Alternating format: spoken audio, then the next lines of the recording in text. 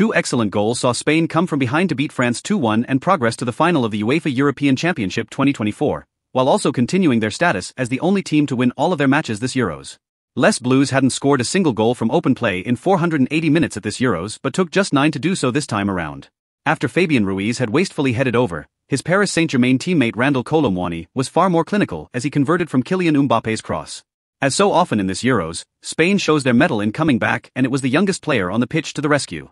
Lamine Yamal jinked his way away from Adrien Rabiot and sent an audacious strike curling in off the far post at the 21st minute. Dani Olmo then conjured magical touches of his own a mere four minutes later to find space in the box and drive a shot that went in off Jules Koundé, putting La Roja in the lead.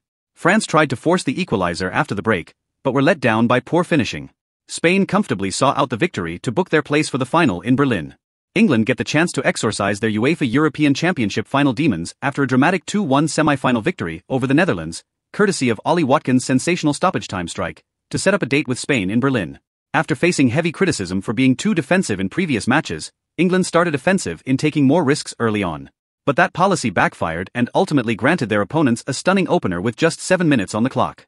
Xavi Simons pickpocket a labouring Declan Rice and fired into the far top corner from distance, sending the Westfalenstadion's Oranje Muur into ecstasy. As so often in tournaments, it was the ever-dependable captain Harry Kane who clawed his side back into the game.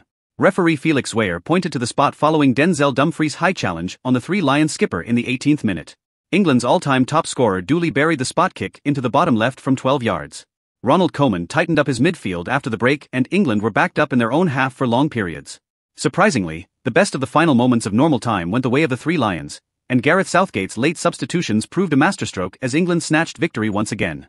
Watkins received the ball from Cole Palmer with it all to do, but he spun away from Stefan de Vrij and fired into the bottom corner to send his side through.